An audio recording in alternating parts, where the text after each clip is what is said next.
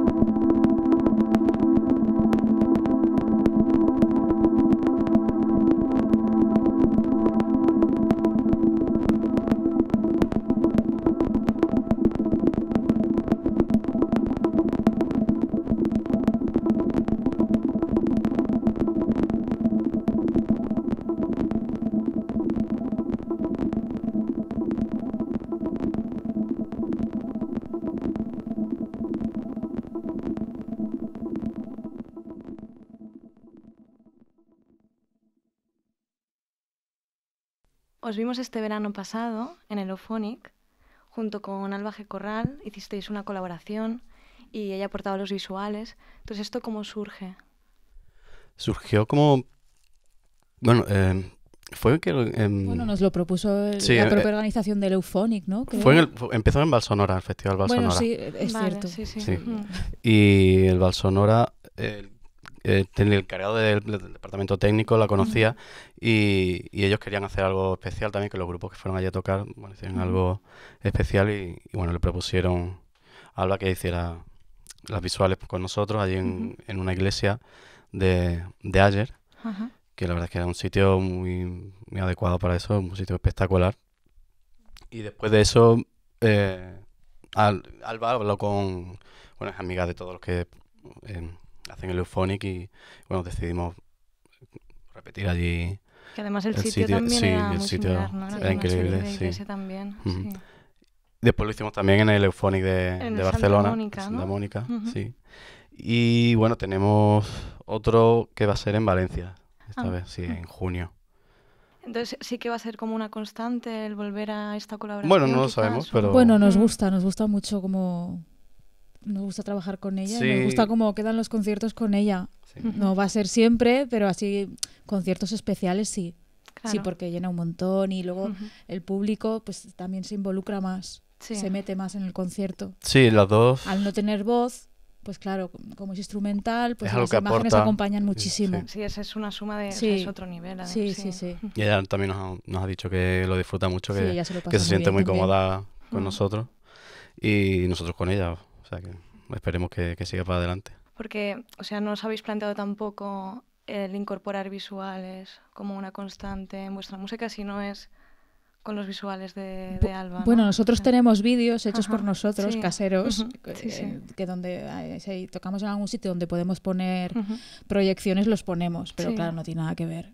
O sea, so- son vídeos corta y pegachos en casa. Sí, bueno, ella es una... y, es- mm, y Alba es un artista, entonces no Sí, se sí, puede sí. comparar. No, pero sí que hay esa inquietud de querer incorporar Pero sí, el sí, sí, nivel, sí. la- o sea, que en sea la medida de lo posible, si se puede, ponemos Sí. visuales. sí, son siempre. elementos que, que ayudan a que la gente se meta en el concierto, Ujú. porque al ser algo instrumental, pues bueno, siempre aporta y, y ayuda a que el espectador entre... Bueno, también vea la música de otra manera. Claro. Es como casi Sí. ver una película a lo mejor con, con música. Y ya son dos elementos que entre sí enlazan muy bien. Pues vamos con el tema de cierre que tenéis preparado para el final. Sí. Yes, no- Pues esa es la nueva. Sí, ¿no? Esa- que además no Sí. tiene título. no, no. No, no, de momento no le hemos puesto nombre. Ujú. eh, es lo que más nos cuesta poner el nombre a las canciones. Entonces primero hacemos la canción y luego ya Bueno, tendréis que hacer algún viaje quizás, a lo mejor. pues. cuando nos vayamos de vacaciones este verano, A ver. a lo mejor encontramos nombre. Cuando queráis. Bueno. Vale, muy bien, gracias.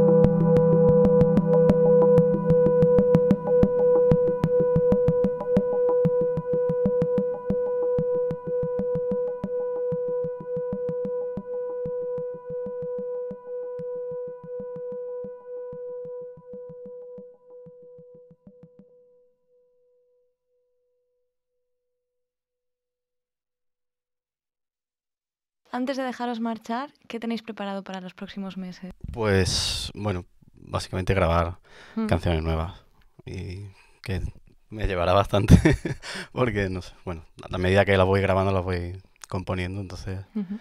es un proceso bastante lento. ¿Y algún directo? Eh, bueno, en Valencia tocamos em, el 2 de, 2 de julio. 2 de julio. 2 de julio con Alba. Exacto, sí. sí. Bueno, estamos anunciándola por primera vez, así que supongo que se puede anunciar. Esto es primicia. No Sí. sabemos si se puede anunciar, pero bueno. Bueno, es, es un ciclo de, de- de conciertos que hay, un poco de música experimental que hay en Valencia. Sí. Y el- cerraremos el ciclo, que creo que ya ha empezado a hacerse. Eh, y bueno, lo hace Edu Comelles, que estuvo tocando también en Euphonic y nos vio y, y le gustó también eh, eh, los vídeos del concierto con Alba y nos dijo, oye, pues me gustaría que lo hicieras allí. Y después de eso, bueno, nada, tampoco somos de dar muchos conciertos. Pero bueno, este de Valencia está guay porque Sí, sí. nos- en realidad no hemos hecho ninguno fuera de Cataluña. sí, es la primera vez que salimos de, Mira. Es la primera vez que salimos de, de aquí. aquí. Sí, No, y hace ilusión. además es una Bueno, cosa que sale. Fuimos a. Sevilla una vez. Ah, bueno, sí. Pero bueno, como Sevilla es como si tocáramos en casa. Sí. pues No, pero esto, lo de, lo de Valencia sale a partir de Ducomelles. Sí. sí, a partir de tocado con Euphonic. él, o sea que nunca sabéis. Sí, también. siempre, siempre Sí. cuando acaba un concierto digo, Mm. bueno, no tenemos nada más, un descanso y de repente al día siguiente te llega un email o una llamada, oye, toqué, y bueno, venga. Y así va surgiendo. Pues ya estaremos al tanto, a ver. Sí, Muchísimas gracias por venir. a gracias a vosotros. vosotros. Gracias.